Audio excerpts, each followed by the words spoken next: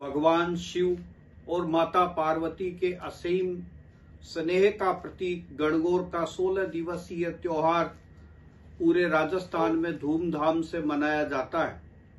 रियासत काल के दौर में गणगौर पर्व की छठा देखने लायक होती थी। इसका कारण यह था कि प्रजा और राजा मिलकर इस त्योहार को उल्लास के साथ मनाते थे। जनानी डोडी में विराजी गणगौर माता का रानियाँ और सेवक महिलाएँ धार्मिक कायदे से पूजन करती, शाही सवारी के लिए माता गणगौर को बंदूकों और तलवारों के कड़े पहरों में महलों और गढ़ों के बाहर निकाला जाता था। होली दहन की राख से सोलह मातृकाओं की स्थापना की जाती। कुमारियाँ और सुहागने पूजन के लिए हरी धूप व जल से भरे कलश को सिर पर रखकर मंगल गीत गाती हुई जाती है। शास्त्रों में मान्यता है कि 16 दिवस तक पूजित गणगौर और शिव स्वरूप ईश्वर जी को पूजने से घर और रियासत में सुख की समृद्धि होती है। रियासतों के ठिकानों में भी सुरक्षा के लिहाज से ईश्वर गणगौर को बंदूक और तलवारों के पहरों में बाहर निकाला जाता था। जहाँ पर गणगौर माता को विराजमान किया जाता, वहाँ चौबीस घंटे बंदूकों का पहरा रहता था।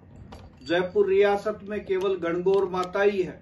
कहते हैं कि यहाँ के ईश्वर जी को किशनगढ़ रियासत के उत्साही युवक लूट करके ले गए थे। ऐसे में जयपुर की गणगौर माता की सवारी ईश्वर जी के बिना ही बाहर निकलती है।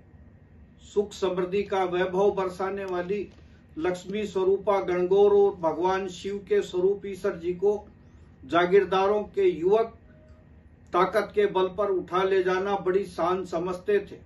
प्रोफेसर राघवेंद्र सिंह मनोहर ने लिखा है कि जोबनेर के पास सिंहपुरी का राम सिंह खंगारोत मेड़ता की गणगौर और शेरगढ़ का हंसराज पवार बूंदी की गणगौर को लूट कर लाया था। मूल्यवान स्वर्ण आभूषणों और वस्त्रों में सजी धजी गणगौर को, जनानी डोडी में भारी सुरक्षा बल के साथ संगीनों के पहरे में बाहर निकाला जाता था। कहते हैं कि घोड़ा तो गणगोरिया नहीं दौड़ सी। गणगौर के दिन घुड़दौड़ होती थी। जयपुर में कभी हाथियों की लड़ाई और ऊंटों की दौड़ भी हुआ करती थी। इन्फेंट्री बटालियन और रिसाला के बंदूकधारी सैनिक माता को गार्ड ऑफ़ ऑनर देने के बाद गणगौर के साथ चलते थे। सिंजारे से बूढ़ी गणगौर तक तीन दिवसीय गणगौर के धार्मिक और सांस्कृतिक उत्सव में रियासत की सैन्य ताकत का प्रदर्शन होता था। सिंजारे से बूढ़ी गणगौर तक तीन दिवसीय गणगौर के धार्मिक और सांस्कृतिक उत्सव में रियासत की सैन्य ताकत और वैभव का प्रदर्शन होता था। सन 1907 में बीकानेर महाराजा गंगा सिंह जी, माधो सिंह जी के बुलावे पर जयपुर की गणगौर को देखने आए थे। 25 मार्च 1947 को सवाई मान सिंह जी ने चौगान के पास मोती बुर्ज से गणगौर की सवारी के दर्शन किए। राजमाता गायत्री देवी ने जयपुर की गणगौर के बारे में लिखा है कि दरबारी लाल पोशाक में होते थे। बादल महल के शाही दरबार में संगीत और नृत्य की महफिल सजती थी। जय निवास बाग के फवारे चलते थे। नारगढ़ से तोपों के छूटने के साथ साथ कछावा हॉर्स की साहसिक घुड़दौड़ भी चौगान के मैदान में होती थी। रियासत काल में गणगौर के त्योहार पर तीन दिन का अवकाश रहता था। राजपुरोहित जी की पत्नी को सोने चांदी के गोटे की पोशाक और जेवरात और सुहाग की वस्तुएँ भेंट की जाती थी।